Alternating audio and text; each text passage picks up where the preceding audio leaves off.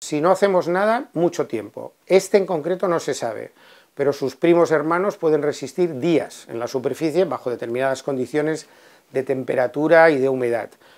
Pero todo esto pierde sentido con la siguiente cosa que os voy a decir. Si se limpia, se acabó.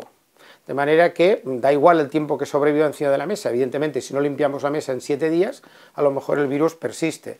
Pero si después de estar aquí hablando se pasa cualquier producto de limpieza normal, el virus desaparece. Y además, aunque esté sucia, si lo tocamos, si nos lavamos las manos, también da igual. Por lo tanto, persiste, para entendernos, si no somos muy limpios o muy pulcros y no limpiamos ni nos lavamos las manos, cosa que parece poco